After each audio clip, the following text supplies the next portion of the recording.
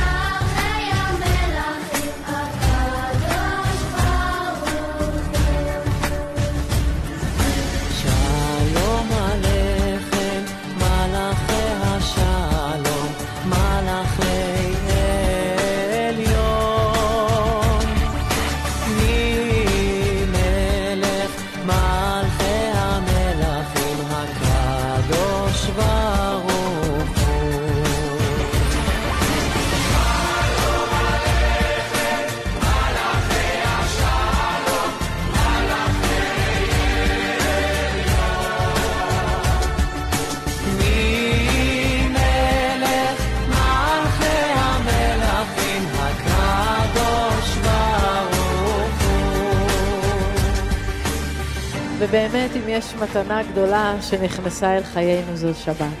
כל השבוע אתה פשוט מחכה לזה, ואז אתה מבין מה התכלית אה, של כל השבוע. אין לי איך לכמת למילים את מה שהשבת היא בשבילי, אני מחכה לה מיום ראשון, אני לא שורד בלי שבת. אני חושב שמה שהשבת עשתה לי, היא פשוט אה, סידרה לי את החיים. אה, בשבילי השבת היא דבר מאוד מאוד מהותי, יום שאני לא, לא יודע איך היינו מסתדרים בלעדיו. נראה לי שזו ההחלטה הכי טובה שלקחתי, בעודי.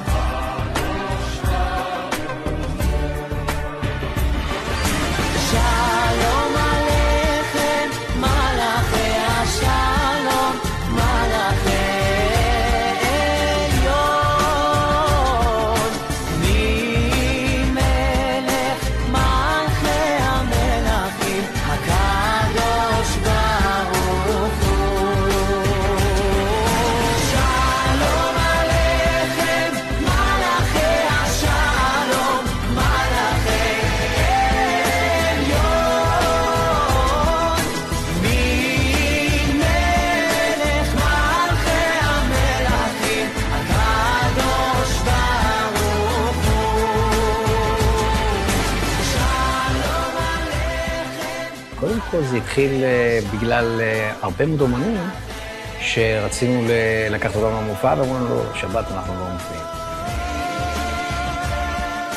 השנתיים האחרונות שלא הופענו בשבת, זו ההצלחה הכלכלית הכי גדולה.